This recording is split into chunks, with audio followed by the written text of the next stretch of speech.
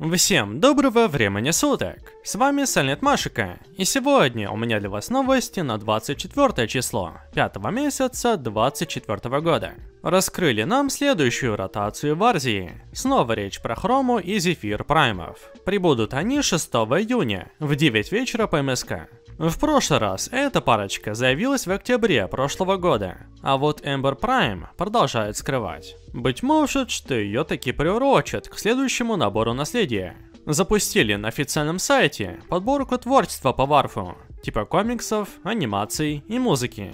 Возможно, что не просто так это устроили сейчас. Насколько я помню, был разговор о возможном комиксе в будущем. Объявили ДЕ очередное участие в благотворительности, но в этот раз не имеется особой кампании и поощрений для игроков, как это было в году прошлом.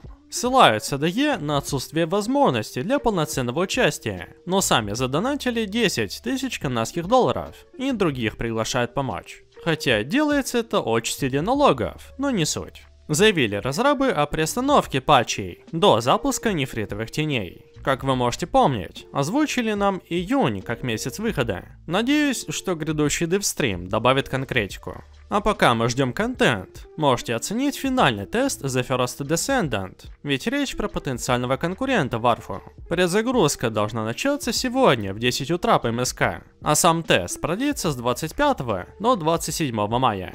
Здесь можно будет глянуть не только новый контент и общие перемены, заявлена русская локализация и боевой пропуск. Это может пролить свет на монетизацию проекта.